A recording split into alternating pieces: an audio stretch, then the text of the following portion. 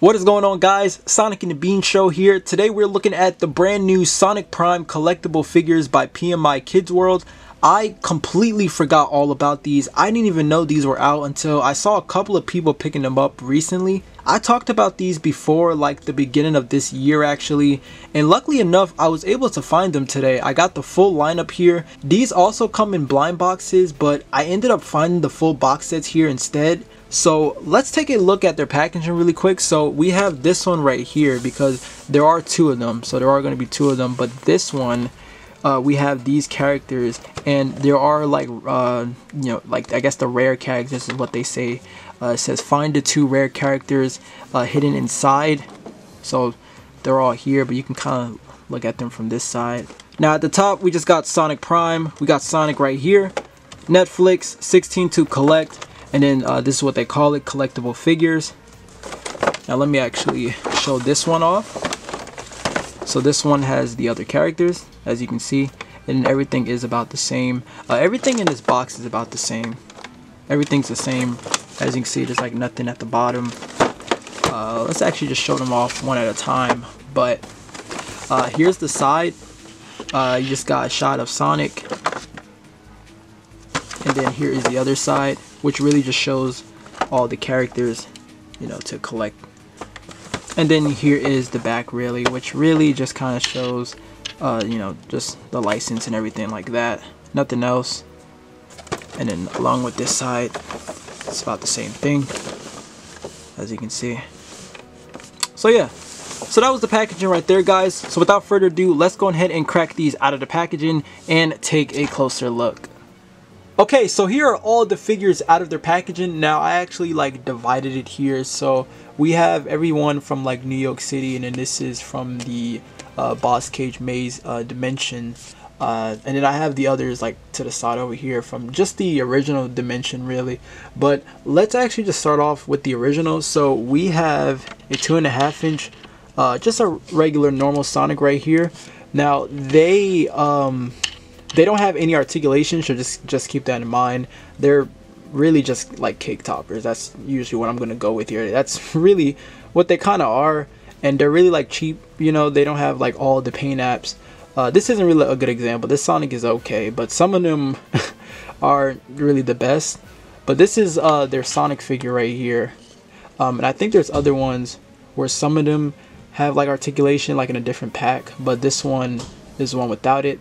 So let me grab the one from Jakks. That's mainly what I'm going to be doing here for the most part. I'm really just going to be doing some comparison as we go.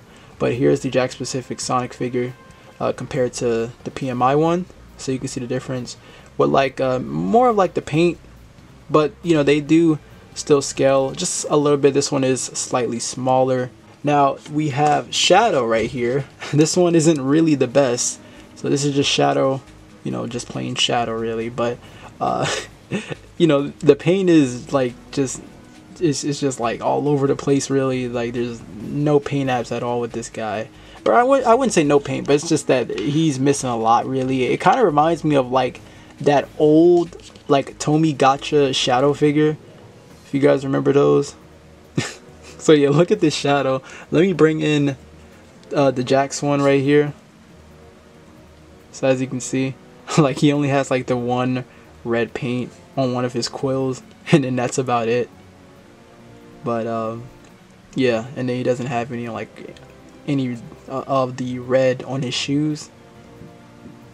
So yeah. So yeah it's just things like that which is why I want to do comparisons which is funny about that. Uh, I'm gonna start with the the New Yoke City. So here is the Rusty Rose figure right here and then here is the Jakks one that I actually just reviewed recently. And this one is still taller, as you can see. It's a whole lot taller and a whole lot better too. but yeah. Alright, so let's move Rusty to the side. We got one of Eggman's robots. This one is okay. It's not too bad. Uh, articulation would have been nice, but I think this one's okay it is like able to like stand. I thought it was gonna fall back. I didn't want them to all like fall back if that was gonna happen, but um, you know, it, it can stand. This is okay. This one doesn't really look too bad. I would like to see this in like the the um the five inch range from Jakks, and then you can like kind of army build with this guy. But uh, yeah, I thought this one was okay. So yeah, we got uh one of Eggman's robots, and then let's actually bring in Mr. Dr. Eggman anyway. But here's uh Mr. Dr. Eggman. I think Mr. Dr. Eggman is probably the tallest out of everyone here. He's still not gonna like have all the paint, of course, but um, you know, we got that. And then let me compare it to the Jakks one, the regular one. He's a whole lot taller. so, yeah, like I said, man, these are basically like cake top, uh, cake toppers to me. Uh, let's start off with Renegade Knux right here. And then you know what? Might as well. Uh, here is Gnarly Knuckles. So here's how they all look.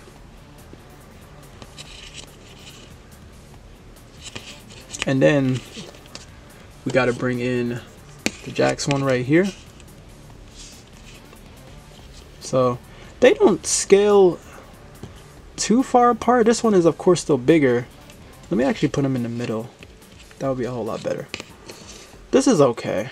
It's kind of cool because uh, I got the, you would have like the regular one and then you would have uh, Renegade Knux and then Gnarly Knux and then uh, you also have the uh, Knuckles the Dread from the No Place dimension. So you would have all four of the Knuckles dimensions in the like this scale. So that's pretty cool. But yeah, we got those. Um, here is nine. Uh, this nine is okay. It's not too bad. Uh, these I wish I don't know why they're like black, but you know you got that, and a nine got like this device right here. Here is the the Jakks one right here. So yeah. I don't think this 9 is that bad. I think it's alright. Obviously it's not going to have all the details, but it's, it's alright. I think it's just okay. Some of these are like okay, but some of them are like really, really bad.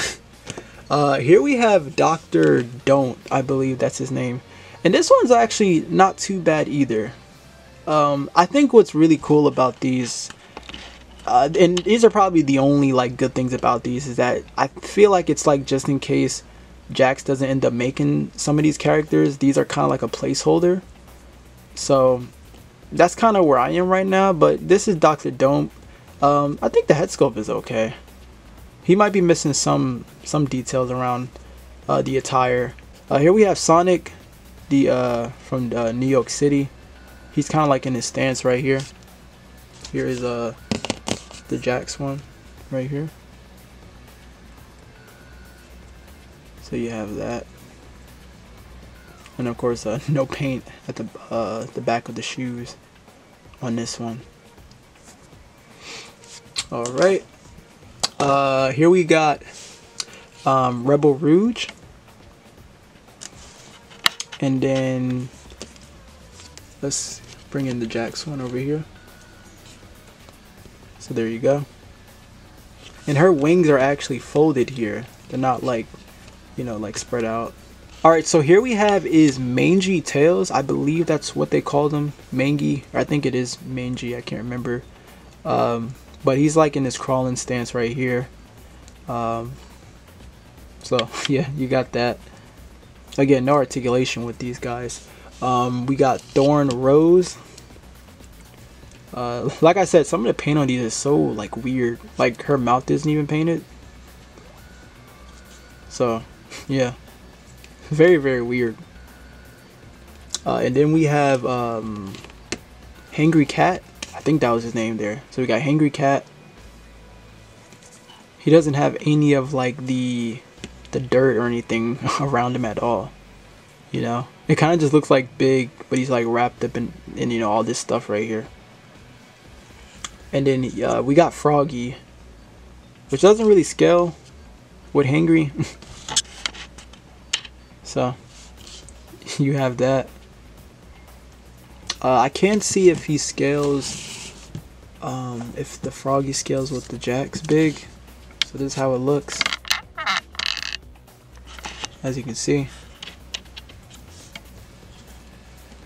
So yeah.